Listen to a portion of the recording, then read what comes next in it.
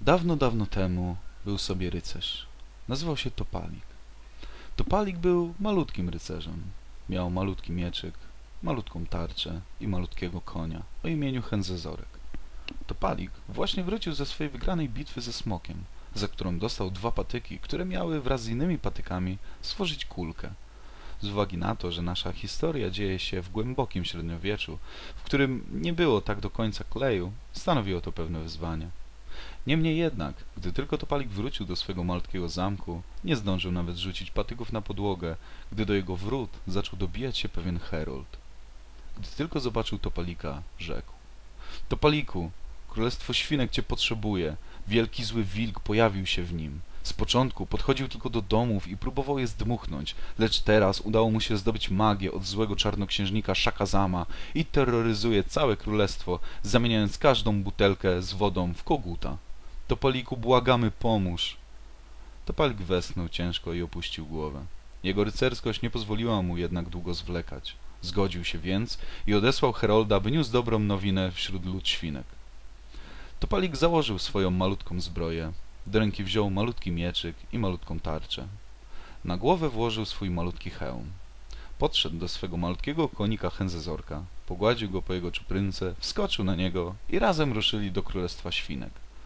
Po dość długiej podróży w końcu dojechał do ów królestwa. Z początku wyglądało na wielce opustoszałe. Po chwili jednak świnki zaczęły wychodzić ze swoich domostw, gdy przekonały się, iż nie jest to wielki zły wilk. W końcu przybył rycerz! krzyknęła jedna ze świnek. Czy przyjechałeś, by pokonać wielkiego złego wilka? spytała się świnka, która prawdopodobnie była jednym ze znanych na całym świecie świńskich mędrców, ponieważ posiadała długą siwą brodę i naklejkę na piersi. Jestem jednym ze znanych na całym świecie świńskich mędrców. Topalik potwierdził, że przybył, by pokonać wielkiego złego wilka i spytał się, gdzie go może znaleźć. Musisz ruszyć w stronę gór, odpowiedział mędrzec. Tam, na najwyższej z nich, znajdziesz wielką czarną wieżę, stojącą na kurzej nodze. W niej to ma swe leże wielki zły wilk. Topalik ruszył więc w stronę gór. Tak jak powiedziały świnki, była tam czarna wieża. Fortuna dodatkowo uśmiechnęła się do Topalika, gdyż wielki zły wilk akurat szedł na ryby do pobliskiego jeziora. Gdy zobaczył Topalika, rzekł. Czego tu szukasz, rycerzyku? Czyż nie wiesz, że jestem wielkim złym wilkiem, który opanował moce czarnoksiężnika Shakazama? Topalik zeskoczył z Henzezorka. Bój się mnie, albowiem moje moce magiczne są niewyobrażalne. Topalik wyciągnął swój mały mieczyk i ruszył w stronę wielkiego złego wilka. Ha, ha! zaśmiał się wielki zły wilk. A więc chcesz się ze mną zmierzyć, rycerzyku. Dobrze więc, pokaż co potrafisz. Topalik, gdy zbliżył się do wielkiego złego wilka, Wbił swój mieczyk w ziemię, wziął zamach nogą i kopnął postrach królestwa świnek w krocze. Nie! krzyknął wielki zły wilk. Moje magiczne krocze to moja jedyna słabość. Skąd mogłeś to wiedzieć? To mówiąc, wielki zły wilk rozpłynął się w powietrzu. Topalik więc wyjął swój mały mieczyk z ziemi i wrócił do swojego malutkiego konika.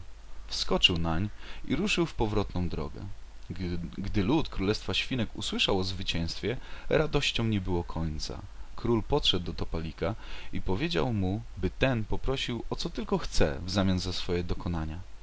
Topalik, jak to miał w swoim zwyczaju, poprosił o dwa patyki i gdy je dostał, ruszył z powrotem do swojego malutkiego zamku, by w końcu ulepić swą wymarzoną kulkę z patyków.